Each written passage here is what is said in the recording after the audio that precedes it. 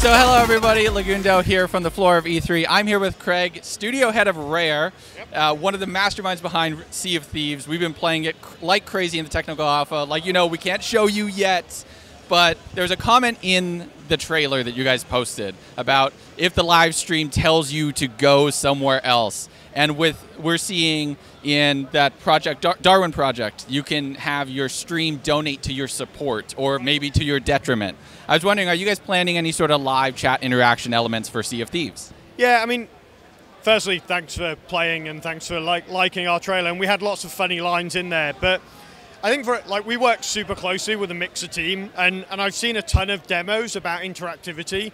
Uh, so we haven't like we're not planning anything per, per se. The main thing we're working with the Mixer team on is uh, is co-streaming, which you've seen we we kind of debuted on Sea of Thieves after the uh, after the briefing. Um, I've seen a ton of interactivity stuff with Minecraft, and we've we've sort of played around with it. And of course, if we come up with the right idea that makes sense to Sea of Thieves, but Sea of Thieves, really our vision is you and your crew going on adventures together. So we kind of like this idea of of the crews, you know, making their decisions and deciding how they're going to interact with other crews or the world or what's going on. Although the other thing we love about the partnership we've done with Mixer, and, and you know, I've done a little bit of streaming with them, is because of the low latency, kind of fast and light stuff. Anything you get in the chat is instant.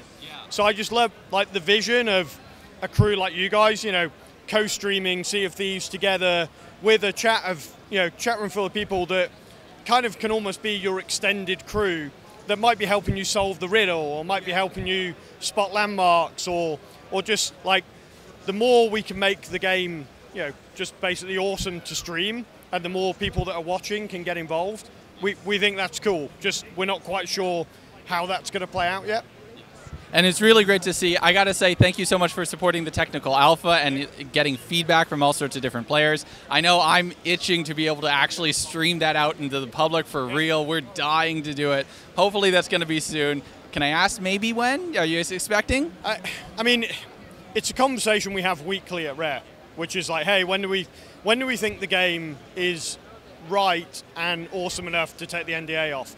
And really, for us, like when we built Sea of Thieves, it was all about players creating stories together, and how do we make sure there's enough variety? So, you know, and I've done a ton of interviews this week. Is every time you play Sea of Thieves, we want your adventure to feel special and different. Yeah. And and as we keep adding features and ingredients into the game, like the game's already amazing fun and people grin ear to ear when playing. Every time we add things, it gets better and better. So it's really like when do we think there's enough stuff that every time people stream or create videos or talk about Sea of Thieves, there's enough variety in the adventures. Um, I think we're getting close. Don't- We're not quite there, and, and as the, I guess as the creators, we're probably the most protective over that. Um, but we are streaming from the show floor here at E3, uh, and we're streaming from the Mixer booth over in uh, in the between the halls. Um, and we're going to see what the reaction is to, to the streams we put out, and, and we're going to go and watch them and see how much di- how many different stories we get, and we'll use that to help inform the decision about when we want to let people stream. So ready when it's ready. Kind of. That's that's great. That's the best way to go about it. Thank you so much for your time. Really Appreciate it, guys.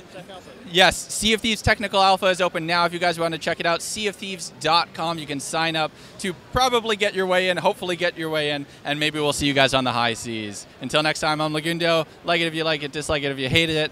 Subscribe for more news, and we'll see you next time.